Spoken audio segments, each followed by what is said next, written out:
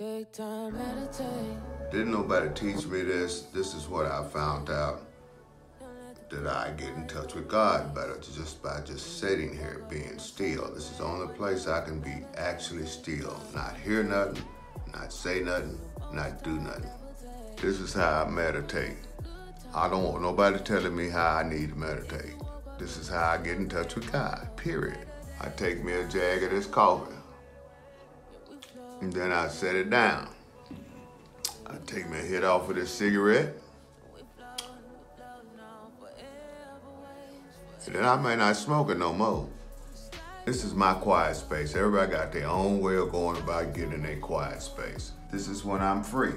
The world is moving so fast. Everybody needs to slow down and try to listen to that little soft voice from God. He said, Be still. And this is how I be still.